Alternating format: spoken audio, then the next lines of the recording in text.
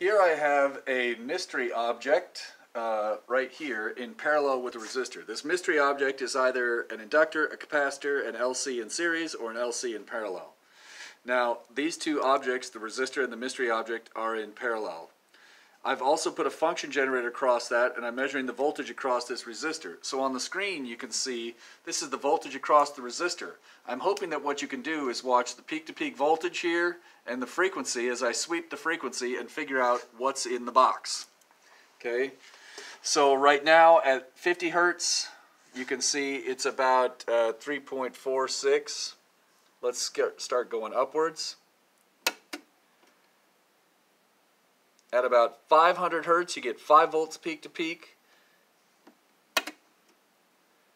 At 5000 hertz, you get about 9.8 volts peak to peak. At 50,000 hertz, you get about 9.9. And then it looks like it sticks around in that 9.8, 9.9 once we're up to 500 kilohertz. So 500,000 hertz. So hopefully I didn't misspeak there, but if I did, I apologize. You've got the numbers on the screen right there. Let's call that good.